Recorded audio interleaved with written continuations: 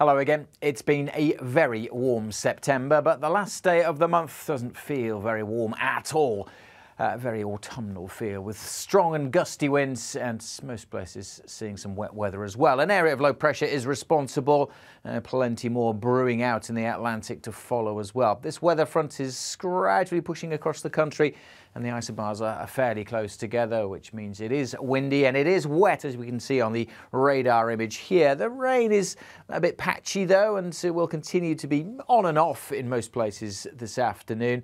We'll see some heavier bursts here and there, but particularly parts of Wales brightening up a little bit, eastern Scotland cheering up a little bit too this afternoon. But for the south, we'll keep a lot of cloud and rain, and uh, western Scotland also. And everywhere it is uh, fairly windy and temperatures are in the mid-teens. Generally a little warmer than it was yesterday, but it doesn't feel all that pleasant with the gusty winds and the fairly frequent outbreaks of rain. Now, the rain will pep up this evening across Northern Ireland, some quite heavy bursts here, and then through the night it gets very wet across Wales, particularly over the hills and mountains, and also very blustery. With all the cloud, the wind, and the rain, it will be a much, much milder night compared to last night, with temperatures across the south remaining in the mid teens. A little cooler further north, and with some clearer skies in northern Scotland, some sheltered spots here could drop down to 3 or 4 Celsius. But as I said, for most, much milder than last night.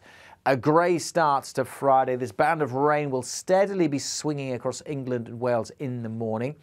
And that should be then followed by brighter skies. Lots of showers for Western Scotland and Northern Ireland. There will be some showers come the afternoon for England and Wales, particularly across East Anglia and the southeast. But uh, a good chunk of England and Wales brightening up after some early rain and with uh, some good spells of afternoon sunshine.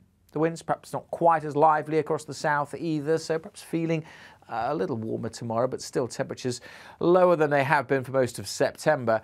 1st of October numbers generally 13 to 16 degrees, but perhaps 18 across the southeast. It will be getting windy again, though, in the far northwest, particularly during Friday evening. Some very gusty conditions over the Highlands and the Western Isles during Friday night. That blustery weather and the frequent showers tied into the same area of low pressure that's still lingering up to the northwest. But down to the southwest, something is brewing for the weekend. Just look at this really developing during Saturday and heading across much of the country. That is going to bring a spell of very wet and windy weather.